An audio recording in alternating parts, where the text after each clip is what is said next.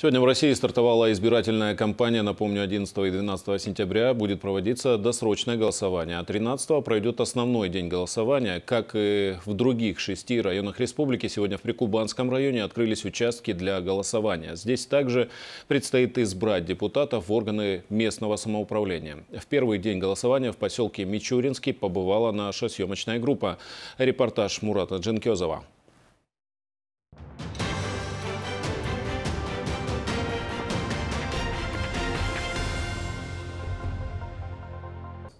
Участ...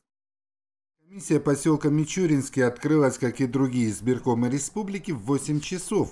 Мичуринцам предстоит ответственная роль – избрать депутата в органы местного самоуправления. Эти три дня у нас проходят выборы на территории Прикубанского района. Это 10 сельских поселений, это выборы депутатов органов местного самоуправления.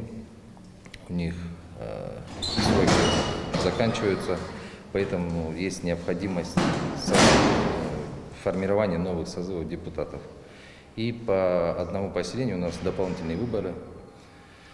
Вот, из 23 участковых избирательных комиссий приступили к работе 21 избирательная комиссия, так как двух из них нет выборов в этом году. Самое пристальное внимание уделяется санитарным требованиям. Участок для голосования полностью обработан дезинфицирующими средствами и рекомендации Роспотребнадзора по проведению голосования в условиях пандемии соблюдаются неукоснительно. Если у вас под рукой не оказалось средств индивидуальной защиты, на избирательном участке вам их любезно предоставят. Сначала проводится замер температуры, затем вам подскажут дальнейшие действия. Участок номер 173 обеспечен необходимыми средствами индивидуальной защиты, дезинфекторами, масками, перчатками и одноразовыми ручками. В течение дня через каждые 30 минут у нас проводится дезинфекция. Э, проветриваем помещение, обрабатываем столы, э, техничка обрабатывает полностью здание.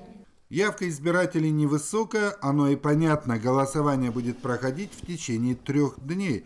Есть еще время подумать и принять верное решение, чтобы отдать свой голос за достойного кандидата. Я пришла исполнить свой гражданский долг и проголосовала за кандидата, который больше всего мне нравится.